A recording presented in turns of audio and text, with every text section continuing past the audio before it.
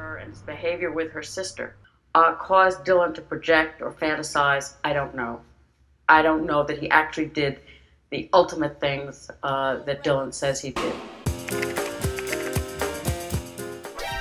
Everything you know about the filmmaker Woody Allen is wrong. He's not a pedophile. He's never molested anyone. He did not marry his daughter.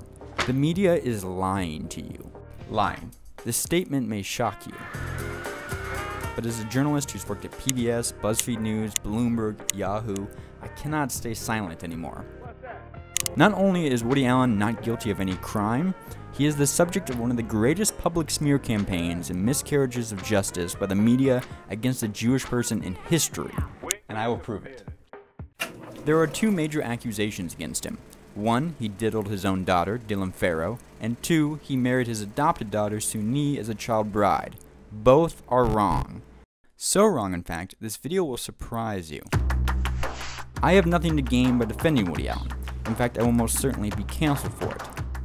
But if a critic questions why I'm defending a millionaire, I'm defending him because I don't base the value of someone's worth on their identity. I report the facts. The facts? That's right. That's what I do. You ignorant. Miserable but excuse for a journalist. The attack that it's okay to smear Woody Allen because he's rich is the same bigotry of low expectations that many people took with the Central Park Five.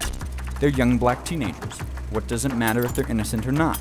They're not important to my world without the press and middle class people. But it matters if people are innocent, and the facts show they are innocent. So let's re examine Woody Allen. The journalism industry failed him because I discovered the actual story is wild. Way more wild than people know. The defendant is not guilty. But somebody in this courtroom is. First fact Did Woody Allen marry his adopted daughter as a child? Woody Allen did not marry his adopted daughter as a child bride.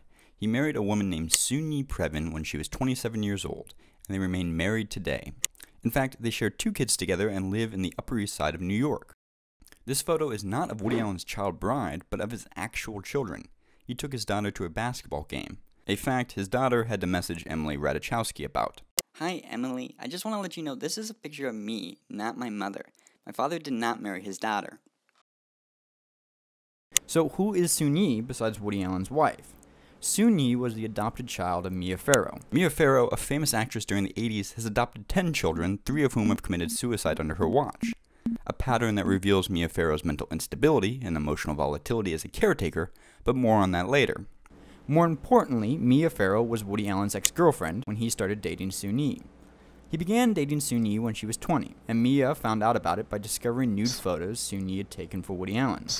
These nude photos made Mia Farrow apoplectic, she mailed a heart with a knife through it to Woody Allen on Valentine's Day. And what was Mia's reaction when she found out about Soon-Yi? She, she sent me a Valentine card, and there was a very, very chilling Valentine. Did she threaten your life? She threatened my life many times. She called me and threatened my, she threatened to have me killed and to kill me. Um, and, to, and to stick my eyes out, to, to put my eyes out, to blind me. Okay, no matter who you are, that is a whack Valentine to send to someone. But frankly, this is also a weird love triangle to start dating your ex girlfriend's adopted adult daughter. But nothing illegal occurred. Everyone was of legal age. Soon-Yi was not biologically related to Woody Allen, or her adopted mother Mia, nor even living with Mia at the time she began dating Woody Allen. She was in college. It's okay to find the nature of the relationship unusual or uncomfortable. I do. I would never promote that relationship. But promotion is different than acceptance. Truly liberal people are open minded. They claim to be accepting of alternative adult lifestyles and choices. But if you only accept people who make life choices you agree with, you're not liberal, you're a hypocrite. Woody and Soon-Yi are adults. They have a family. I'm not going to judge them. Is the relationship a little weird? Yeah. But Woody Allen didn't marry his own child. He married Mia Farrow's adult adopted daughter of no relation. So this accusation is verifiably false. I have the one in the other room. You know, the other room may have a double bed in it. Oh, really? Yeah, I mean, and I won't slide into the cracks. Uh, oh, is it two beds? It's two beds. It's two beds. Two beds pushed together, right? Yeah. Hmm. 1 0. Second fact Woody Allen is a pedophile and he molested his daughter. Woody Allen is not a pedophile, despite, let's be honest, how goofy he looks sometimes, and he did not molest his daughter. Contrary to what the press would have you believe, This one accusation has been rigorously examined by lawyers, medical professionals, psychologists, and social workers, all whom have dismissed the allegation and found Woody Allen innocent, all of which I will detail in this video. Woody Allen has only been accused of sexual assault one time in his life by Mia Farrow, and it came right on the heels of Mia Farrow finding Soon-Yi's nudes and giving him a heart-shaped valentine with a knife through it. She accused me of child molestation on August 4th, right? Right. And that I molested my daughter, you, you know, my, my, I molested my daughter. And August 5th, 6th, 7th, 8th, 9th, you know, the, the week after, she's fully saying, when do we begin our new movie? I'm going for my costume fitting next week. And I said, are you kidding? You're accusing of child molestation and you think we're going to just go on with the movie? So in this case, one of them has to be lying. But who is it? Here are the background facts. In August 1991, Mia Farrow called her lawyer to accuse Woody Allen of touching their six year old adopted daughter Dylan in the attic while she was shopping. The lawyer recommended Mia take Dylan to the doctor to document any signs of abuse. But when the doctor examined Dylan, she found neither signs of abuse nor trauma. Mia Farrow took Dylan to the pediatrician, but when the doctor asked her where she had been touched, the little girl pointed to her shoulder. So, three days later, Mia Farrow returned to the doctor with a VHS tape. This time, she had recorded Dylan talking about the abuse in the attic. The doctor watched the tape but didn't find it entirely convincing. It showed Mia repeatedly asking leading questions about Woody Allen until Dylan seemingly responded the way Mia wanted.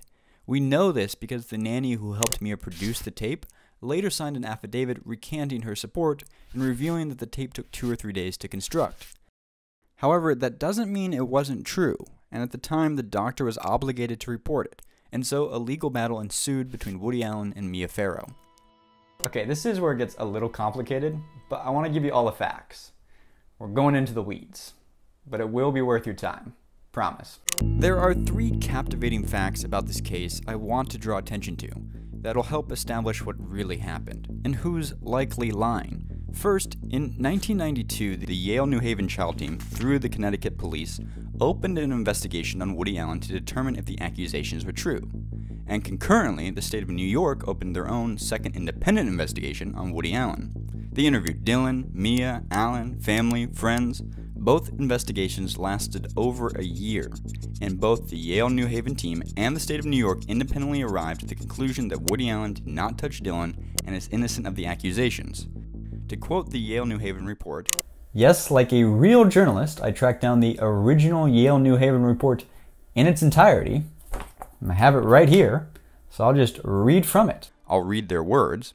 It is our expert opinion that Dylan was not sexually abused by Mr. Allen.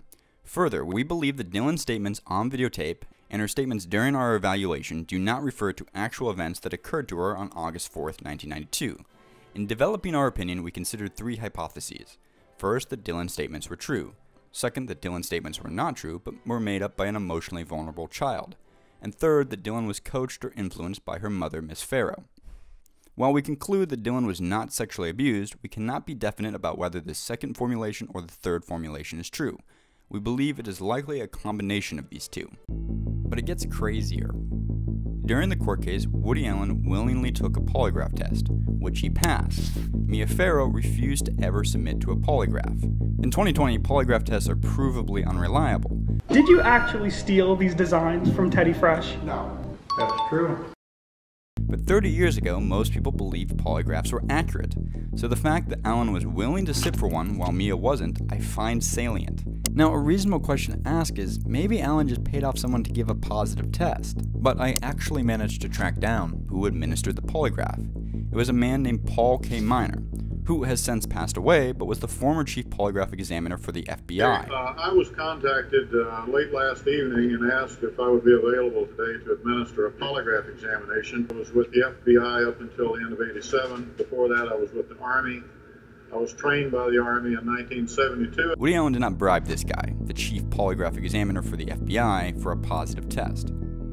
The third point is perhaps the most important. I discovered from this long buried New York Times column Mia Farrow's lawyers in 1992 were in fact willing to drop the child molestation charge in exchange for $13 million. It could, quote, go away if Allen just made a lump sum payment to them. Now that is suspicious. And who was Mia Farrow's lawyer? None other than Alan Dershowitz, who admitted in 1993 he had been recruited by Mia Farrow.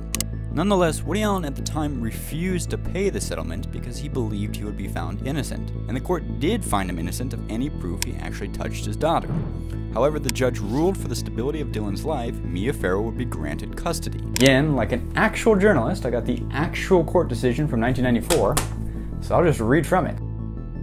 While the evidence in support of the allegations remains inconclusive, it is clear that the investigation of the charges in and of itself could not have left Dylan unaffected. Therefore, we hold that in the view of the totality of the circumstances, the best interests of these children would be served by remaining together in the custody of Miss Farrow. It was noted by the IAS court that the psychiatric experts agreed that Mr. Allen may be able to fulfill a positive role in Dylan's therapy. We note specifically the opinion of Dr. Brodzinsky, the impartial expert called by both parties. Mr. Allen is necessary to Dylan's future development. So, to summarize, Woody Allen has only been accused of child abuse one time, and during that time, the court never pressed any charges against him, citing lack of evidence. Two independent medical teams that specialize in child abuse both found Woody Allen innocent. Moses Farrow, another one of Mia's adopted children, who was in the house the day Allen allegedly touched Dylan, has publicly come out as an adult and written Allen never touched Dylan and Mia Farrow was the abusive mother. Yes, I dug that up too. In 2018, he wrote When I didn't give the answer she wanted, Mia Farrow slapped my face, knocking off my glasses. That was the start of her coaching, drilling, scripting, rehearsing. In essence, brainwashing. I became anxious and fearful. Once, when I was given a new pair of jeans, I thought they would look cool if I cut off a couple of the belt loops. When Mia saw what I had done, she spanked me repeatedly and had me remove all my clothes, saying, You're not deserving of any clothes, and making me stand naked in the corner of her room in front of my older siblings who had just returned from dinner with their father Andre. To my mother, enough is enough. You and I both know the truth, and it's time for this retribution to end. If that's not compelling enough, Mia's own lead lawyer conceded on Charlie Rose back in 1993 she wasn't even sure if Mia had made it up. I have the transcript. Eleanor Alter. Let me just tie one last point. There's no question in your mind that there was child abuse of Dylan. No, that's not what I'm saying. I, there's no question in my mind whether because of his behavior with her and his behavior with her sister uh, caused Dylan to project or fantasize. I don't know. I don't know that he actually did the ultimate things uh, that Dylan says he did. Even Mia's own lawyers don't seem convinced he committed a crime. Given this avalanche of information, by any honest standard, it is reasonable to give Woody Allen the presumption of innocence in this case. Every professional examination found Woody Allen innocent. He has never been accused of anything else by anyone else in 80 years, and Mia was shown to have strong motivation to retaliate against Woody Allen for dating Soon-Yi. Mia had said to me, You took my daughter, and I'm going to take yours. But what about Dylan Farrow's testimony? As an adult, Dylan Farrow continues to state Woody Allen molested her as a child. It's affected every part of my life. Um, you know, growing up, isn't she to be believed? No. It sounds harsh, but memory has been proven to be unreliable. Modern memory research shows we don't actually access original memories, but instead a copy of the memory from the last time we remembered it. It's called memory consolidation, and this is why many of our own memories are skewed or subject to suggestion over time. And flashbulb memories, or emotional memories like the kind Dylan is recounting, are equally fallible. The NYU Department of Psychology wrote four years ago, quote, the confidence that people often have in their traumatic memories may not be fully justified. Moreover, like other autobiographical memories, traumatic memories may be replete with errors. Of finally, persistence of and confidence in flashbulb memories is no guarantee of its accuracy. And once these errors are incorporated into the memory, they can persist and be confidently held for many years, perhaps a lifetime. Just ask Carol Bryant, the woman whose memory killed Emmett Till. It's why criminal courts no longer give weight to eyewitness testimony like they used to. It's often wrong. Admitted on her deathbed that she lied in her court testimony. Here's the thing I mean, outside of a court of law, we do know what happened in the attic on that day. I just told you. But that's the problem. The court doesn't think that happened. I believe Dylan Farrow believes what she is saying, but I don't believe what Dylan is saying is the truth, because upon review, all legal and medical evidence contradicts her story, and the amount of evidence is overwhelming that she was coached and brainwashed as a child by Mia Farrow to retaliate against Woody Allen, And that's the real tragedy to lie to your own children, give them trauma they don't deserve, just to get back at an ex. A crime for 30 years Mia Farrow has kept the public from noticing. But this seems to be a theme, as three other children have died in depressing circumstances after the care of Mia Farrow, and which the press have curiously avoided investigating. Moses claims one of his younger brothers, Thaddeus, committed suicide by shooting himself in his car less than 10 minutes from Mia's house. The defendant is not guilty. But somebody in this courtroom is. So these are the facts. Woody Allen is innocent, and Mia Farrow is likely the real culprit. But don't take my word for it. Do your own research. Reach your own conclusions. The truth resists simplicity. But calm, critical thinking is our best defense against a public that has, does, and will burn imaginary witches. And furthermore, you can all go fuck yourselves.